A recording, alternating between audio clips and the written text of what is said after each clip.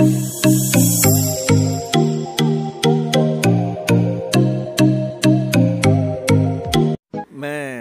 कमाल दफ़र खुदामुल हजाज कमेटी का सदर होता हूँ और मैं अपने तमाम कमेटी के मेंबर की तरफ़ से ये बालसर शहर के तमाम लोगों को मुबारकबाद देता हूँ 2021 का। और उम्मीद करता हूँ कि 2021 हमारे लिए मैंने खैर सगाली का दौर लेके आए। ये जो करोना महामारी जो आया है उसको अल्लाह ताला रोक ले।